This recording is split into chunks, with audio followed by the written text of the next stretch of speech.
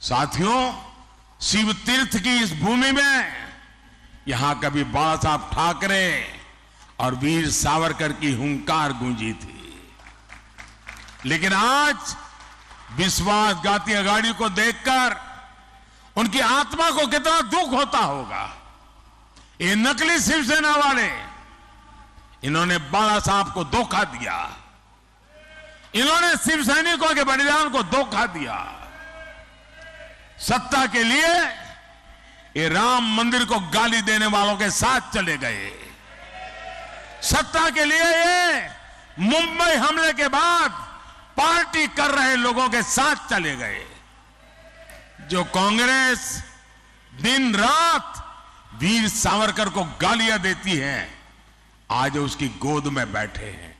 और मैं मैं एनसीपी के नेता को चुनौती देता हूँ। आप राहुल से बयान करवाइए। वो जीवन में कभी भी वीर सावर का अपमान नहीं करेगा। जब एक बयान करवा दीजिए। अभी उन्होंने चुनाव है, इसलिए चुप करवाए, ताला मारा है उसको। लेकिन जरा बुलवा दीजिए एक बार कि मैं जीवन भर वीर सावरकर के खिलाफ एक शब्द नहीं बोलूँगा। जरा एक बार बुलवा लीजिए उनको। वो नहीं कर सकते, क्योंकि उनको पता है चुनाव खत्म होते ही फिर से वीर सावरकर को गालियाँ देना शुरू करने वाले हैं।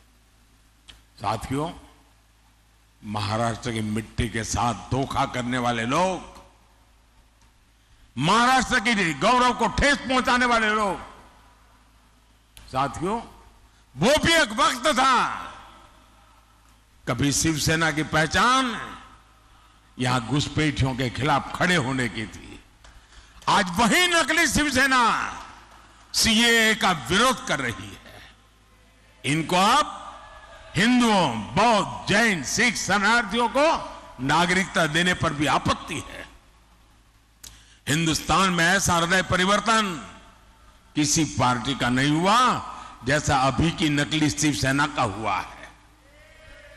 साथियों, अपने वोट बैंक को खुश करने के लिए, तुष्टिकरण के लिए इस पूरी अगाड़ी ने पूरी मुंबई को, पूरे देश को धोखा दिया है।